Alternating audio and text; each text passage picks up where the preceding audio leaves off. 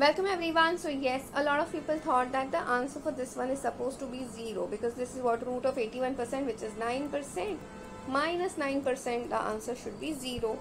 The problem over here is that while taking the root we fall figure we missed out on a very basic step.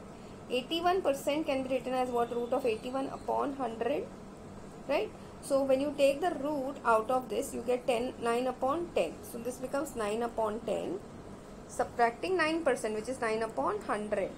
Now you cannot do the direct subtraction because the denominators are different.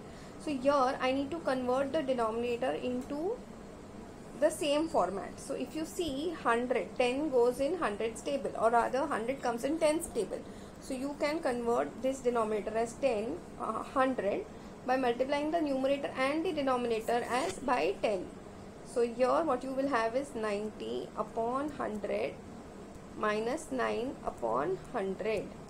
So here since the denominators are same you can directly subtract the numerators which is 90 minus 9 that is 81.